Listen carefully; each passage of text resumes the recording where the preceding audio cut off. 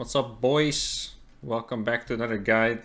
Finally today we're gonna have uh, the scouting guide you guys asked for so many times already. It's gonna be a TVP scouting guide.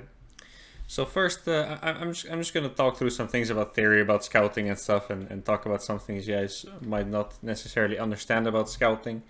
And then after that I'm gonna show you guys a replay of mine and, and talk through the things I look for, talk to the things I scout and how I react and stuff, okay? So first of all, I, I want to say something about uh, about scouting that that might be a little bit annoying, and it's that scouting kind of differs at certain levels of play. For example, in my level of play, if someone does like the Parting blink all in, they always have to have a robo by three minutes, uh, three minute five, three minute ten maybe at latest. And recently I saw a replay from one of you guys, I think it was like 4.5k MR or something like that, where the guy did the all in and then you made the robot at four minutes. So when it comes to scouting, sometimes you have to adapt it a little bit to your own MMR.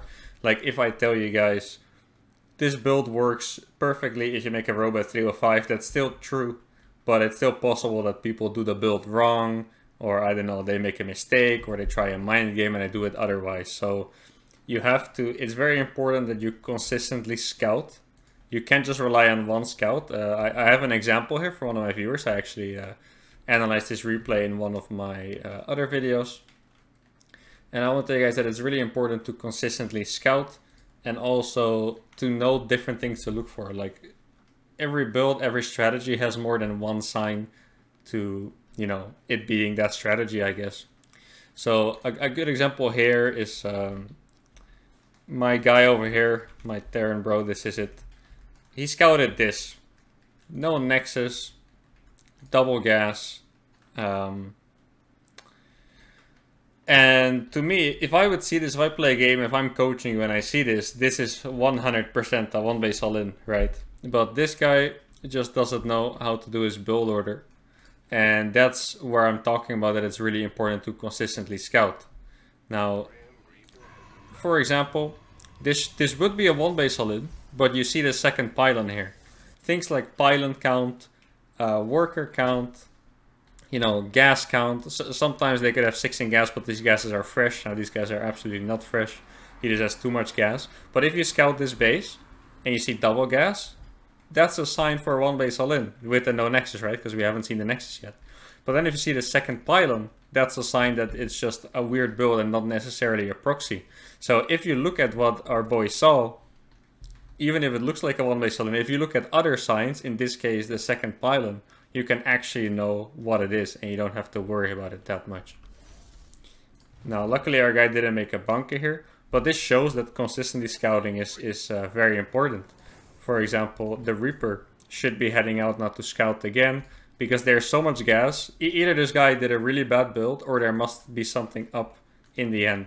And right now you can't tell, you can make a guess, but it's really important to just keep scouting and not take one sign for granted. This is very important. And I'm gonna I'm gonna show you guys my game now. It's again I'm playing Cristiano in a tournament and I'm gonna tell you guys, you know, uh, how my scouting process worked and what I looked for and stuff. Okay guys, so here uh, I played a game against Cristiano in the in the OSC a few a few days ago I believe. And uh, I'm just gonna show you guys some basic scouting, what I do, what I actually look at and what I react. Because, you know, a, a, lot of people don't really understand what you see. They only notice the obvious things like, oh, he's, the Terran's looking for a Dark Shrine.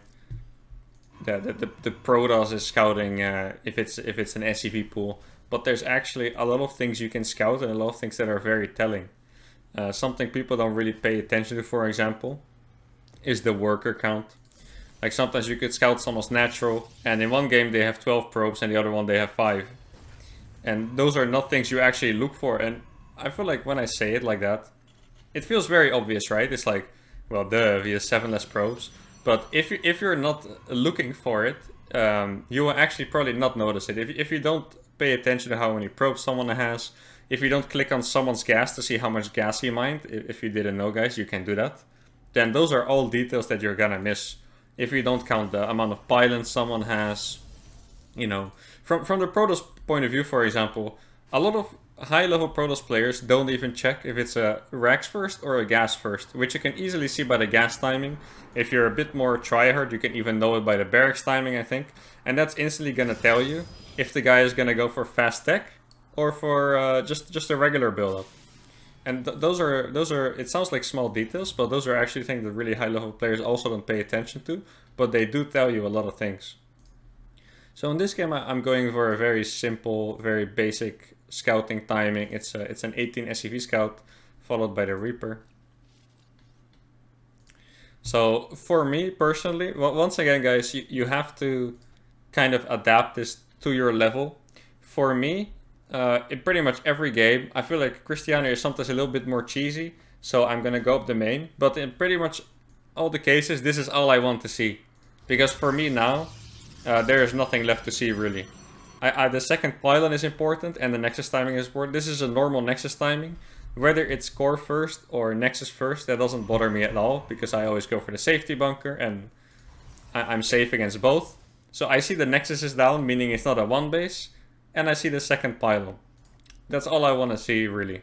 If, if I see the nexus, once again, I know it's not one base, I don't have to do anything drastic. If I see the second pylon, it's either uh, not a proxy Stargate, or they spent minerals to uh, fake that is not a proxy Stargate, because they can always proxy with a third pylon, right?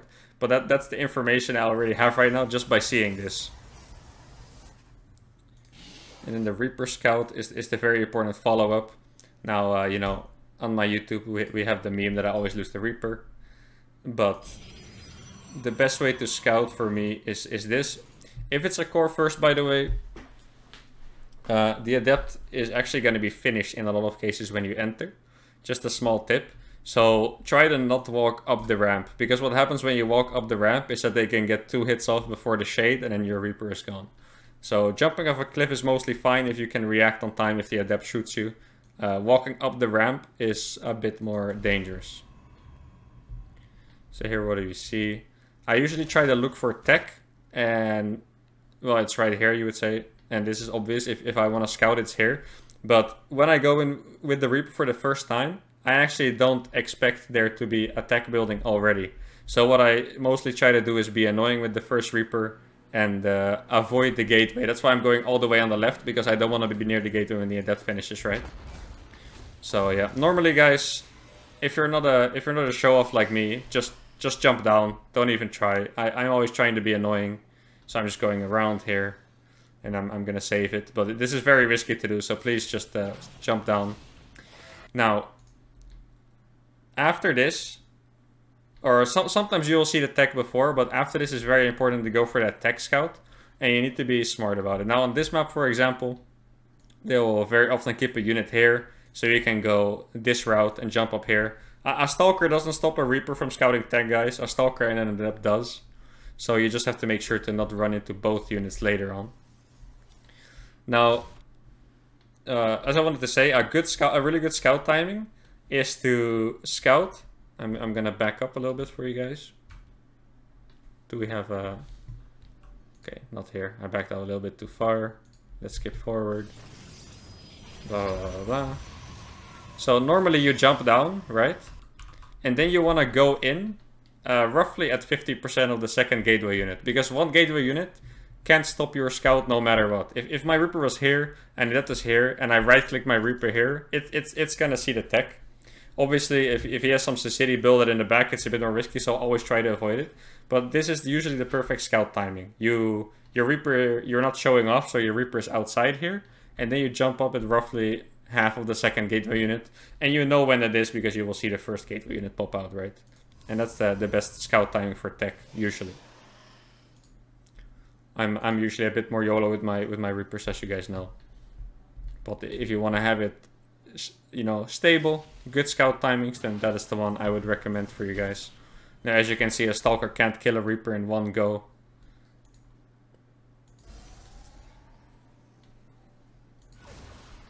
And then, well, my, my Reaper took some damage, but you're always going to have to send that Reaper in at some point. And then I'm going to tell you guys uh, what I'm looking for here. There's a few things. Once again, if you want to really get a sure scout, you make this into a Hellion and you scout with that. Otherwise, if, if you're confident enough or, or you're okay being a little bit greedy, you can use just the Reaper. Now, there's a few things you look for with this Reaper, and the first one is obviously the direct tech building, which I think you should be able to find most of the time. There, there are some maps where you um, you can't really get info all the time. So here, I see a Robo and a Robo Bay, uh, very straightforward. This is the first uh, level of scouting you get pretty much after the SCV. And what my reaction to this is, uh, I, would say the most common reaction to this would be uh, maybe faster CC, because you, you, can't really attack someone with mass bio arming that goes fast Colossus. Uh, tanks, good against Robo Bay. But my reaction in this game is actually, uh, I, I, I don't recommend this one by the way, the Liberator, this was just an experiment. But what I, in my opinion is very good, is to get a Cyclone in this case. Because if they go for a fast Robo Bay, they can't really attack you. But what they can do is go for a Colossus drop. This is actually what I was expecting. So I'm gonna get the Tech Lab on the factory. And I'm not doing this to get tanks, it's to get a Cyclone. Because the Cyclone is gonna deter the Warp Prism completely. And, uh, and that's it.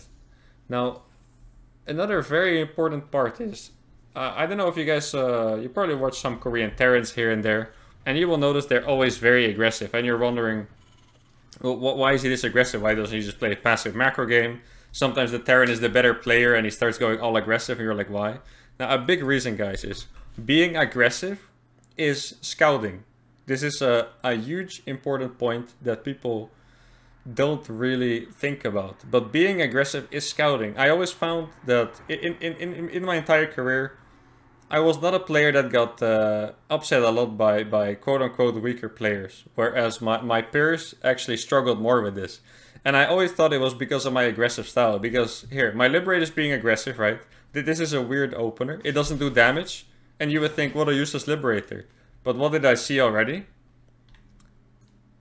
A lack of a fourth gas. That means if you go Colossus and no fourth gas, that means you're actually not going to make a lot of tech units. So this is going to be very zealot heavy. In other words, I'm already going to play defensive later on and probably going to start some Liberators instead of Vikings for their first push. Now this all sounds very advanced, and it, it doesn't have to be this complicated. But you see, just by me sending this Liberator and taking 72 damage, which mo most people think is useless, I already won um, some important information for me. Being aggressive, if this is a mine drop, guys, it's the same story. If you run by 4 Hellions, it's the same story. You can see the unit count, you can see the probe count, you can see the gas count. You can, if you run faster or uh, deeper into the base, you can see if there's a forge, you can see if there's a Twilight, you can see if there's more gates on the way. All these things are information. And that's a big part of actually being aggressive, at least with some harassment units early on. It's not just about the damage, it's about all the information that you win. A mine drop, for example, or in this case my, my Liberator saw it too, but a mine drop would almost always spot if there's actually a third base or not. If you play against Blink, for example, and your attack spots that there's no base, you instantly know that you're probably being attacked or that he's actually attacking up even more on two bases. And even if your mine drop does nothing, that's really useful information that you're winning there. So the next time you're actually mine dropping, the next time you're sending a Liberator, a landed Viking, whatever guys. How did that not shoot by the way? Whatever, whatever harassment you send, remember to pay attention to the information it gives you and don't think that it's just uh, a, a few probes you're killing. This Liberator is going to end up doing pretty alright. Three probes and a Stalker. Oh, not, not the Stalker, of course.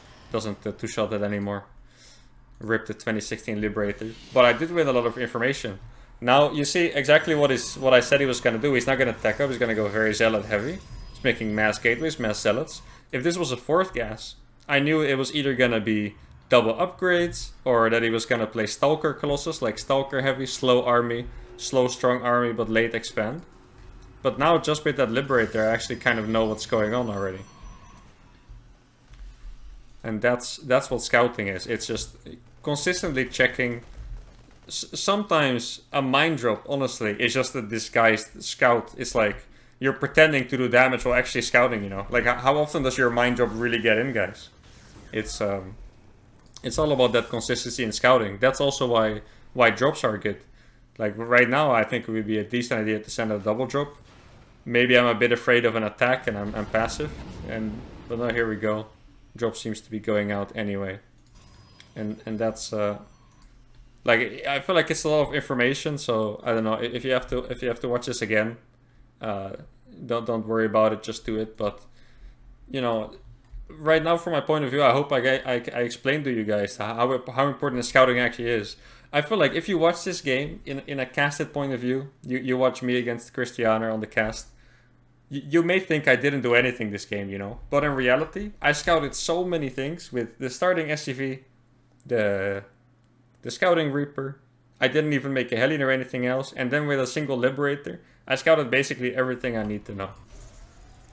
And of course, in um, in in lower MMR games,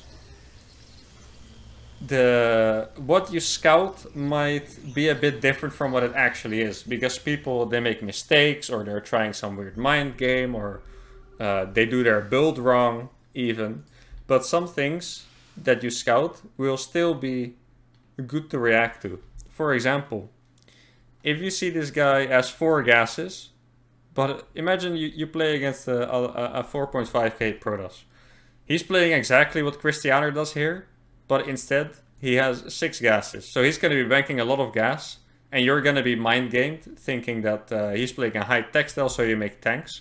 In that case, if you react to it, and I don't mean overreact, but you just properly react. So let's say you get some tanks, or uh, you know, let's say you just expand a lot. If this guy ruins his build by mining from three more gases than he should, he is also gonna have like I don't know 10 zealots less for hit his attack or whatever. So even if you react, even if the, the, the, the Protoss mind games you, it's still a good thing to know what you're scouting. In in the worst case, if that Protoss has all the gas and he's mind gaming you, even if it's on accident, he's still messing up his own build order. And if you react properly, then it's still going to be a good situation for you, even if the guy is messing up his builder. The most important thing is to not overreact there. Like if if if I uh, if I see a fourth gas here in the start, and I assume it's Stalker Colossus, which it should be, and I do like a I don't know, I make a second factory and I do a big tank call in. Now that's a very dedicated potential overreaction because I'm really banking on the fact that he's playing Stalker Colossus. But if I would just play, you know, faster third CC, good macro game against Colossus, get get my Vikings up, then I'm actually just in in a, in a, in a really good position still because I'm not overreacting. I'm just reacting to the situation. I'm, I'm not blind countering uh, anything in particular. And and yeah, that, that's it, guys. E even this, for example, this drop is, is good scouting. Uh, when I saw the lack of gases, I thought it was really gonna be like a zero forge push. But with this, I, I scout the forge. In this case, I even snipe it. But even scouting that forge means his push or attack, if it would come, is gonna be less dedicated. Alright, so, so, so, the rest of this game is just going to be a, a, bit of a brawl uh, between Bio and Protoss, which I do win in the end, of course. I, I, I, would, I would never lose a game of StarCraft. Anyway, guys, I hope this was really useful. Uh, uh I, if you have any questions about scouting, please ask me. I might do some other scouting guides on other matchups in the future, or maybe make some additional content to this video. But I hope you guys enjoyed it a lot. Don't forget to uh, like and subscribe, like the video and subscribe, and uh, see you guys next time. Adiós.